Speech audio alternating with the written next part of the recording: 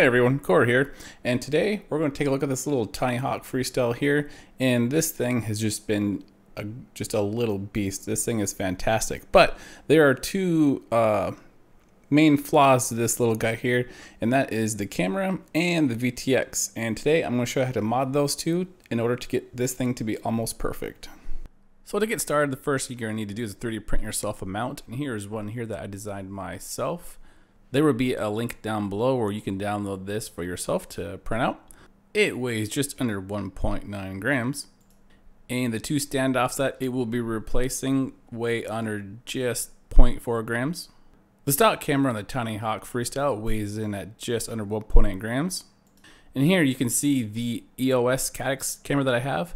I went ahead and soldered off the old connector that's on the right and then I took off the connector from the stock camera and put it onto this so it's just a direct plug-in and this also ended up bringing down the weight a little bit to where we are just looking at under 3.5 grams. Now to really get this camera to fit well into the frame, you are going to need to cut it along these dotted lines right here in order to bring the camera closer to the front of the body. And you can just use like a little Dremel or whatever. And you can see here that it does make a nice tight fit. And I did design the lines to kind of follow the lines of the frame of the Tiny Hawk here. And I think it actually ended up looking pretty good. And it actually is very functional with good camera protection. Now that we have addressed the camera, let's go ahead and address the VTX. Now this upgrade is going to be quite a bit more difficult, so you will need some pretty good soldering skills. The best VTX I found for this setup was the ready-made RC Strix Nano Cricket Micro VTX. It has a 25 and 200 milliwatt setting, which is perfect for this uh, size of quad here. It takes 5 volts input and has smart audio.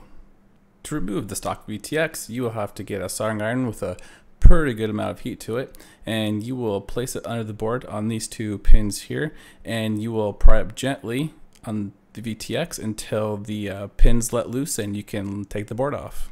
Once we get the VTX off, you can see that it weighs just under 2 grams here. And when we get our replacement, you can see with the uh, sock antenna, it is 3.2 grams. And with the little Emax polarized antenna, we're looking at 3.8 grams. Here are the stock soldering connections for the VTX. So looking at this, we know that we only need to hook up four wires so on the VTX here, you can see I have just the power wires, the video and the audio wires. Here I wired up the power wires, just laying them on top of the, the solder pads there, and that was actually pretty difficult to get those pads separated. But on the video and uh, smart audio wire here, I actually stuck them into the hole, and that ended up being a much easier way to get the wire soldered. To secure the VTX, I just ended up using some double-sided sticky tape and I pressed it down into the middle of the board here and just secured the Emax Nano antenna with a little wire. But later on, I did make this little bracket here that added about a half a gram, but it was a much better solution to secure this antenna in place. Now that we've got everything in place in this little guy, let's go ahead and see how much weight we've added to it because we have to keep these little guys light, right? So our stock weight, we're looking at 50.64 grams and our new weight is looking at 55.93 grams. Now that's only an increase of 5.3 grams, which isn't on the bad side at all for a little guy this small. I'd like to have been a little bit less, but we got three upgrades. We got a better camera, a better VTX, and a better antenna. For getting three upgrades for only five grams, I think that is pretty good. So let's go ahead and check out what um, our upgrades did in our video quality. All of these comparisons will be using the upgraded camera, and I will be flying from the backyard out to the front of the house to test out the video signal. With the Cricket VTX at 25 milliwatts, this should be more of a test of the Emax Nano antenna over the whip antenna, but I have a feeling that this Cricket VTX is putting out a few more milliwatts than the stock VTX. Same test here again, only we're comparing the Cricket at 25 milliwatts to 200 milliwatts, and there was a nice little jump in improvement. And the only downside of this is that your video signal is most likely going to be much better than your uh, receiver signal, and that could get you into some trouble, so that is one thing to keep in mind.